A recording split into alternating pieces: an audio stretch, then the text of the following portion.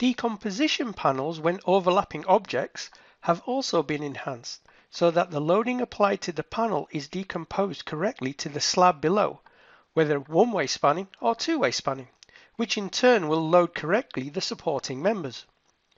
With the enhancement above, we have removed the loading option of decompose only wind and snow.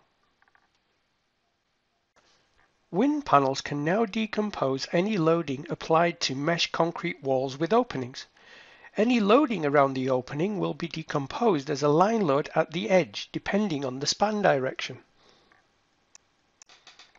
Any area loading placed directly onto a wall item will have the loading cut back if any openings are encountered.